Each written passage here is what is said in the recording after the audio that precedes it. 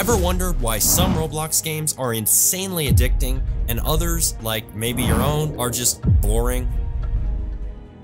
Well, today we're actually going to talk about one of the main things that causes this and exactly how you can create this in your game. This is called a core loop.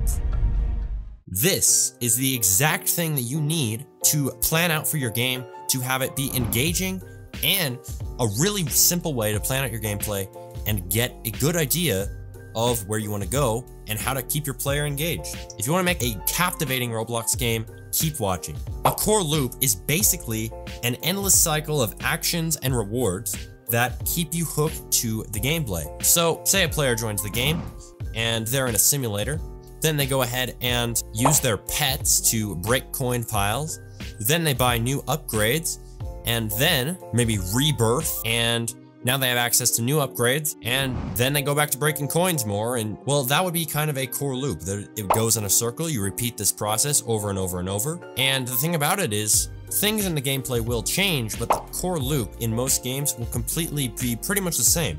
You do the same actions every single time, and that's what makes a game engaging. You have a very addicting core loop, and that's where the root of much of your game design is going to be. But we should look at how some games have used this.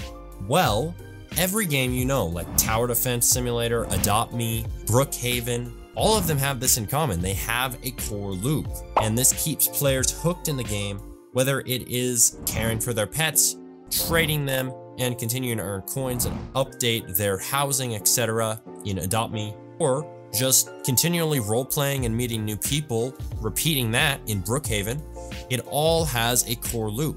But yeah, that is basically what a core loop is. But now, really, like, how do I even do this, you're probably asking? Well, that's actually really easy. So first, identify the main action in your game that players are going to do most often. Next, you want to decide what is the reward or the payoff for what they do, and then create a reason for them to repeat that over and over and over. And boom, you have a very basic core loop. And you can always extend it out, add different branches, and have different things that change. But that is how you basically make a core loop. You have a main action, you have a reward, and then you're trying to figure out a way to keep them to continue doing that. So they could, you know, break coin piles, boom, they get coins. And then maybe the reason why they're doing that is to get more items. Boom, that's your core loop for a simulator, very simple one. So yeah, there you go. And remember, action, reward, repeat.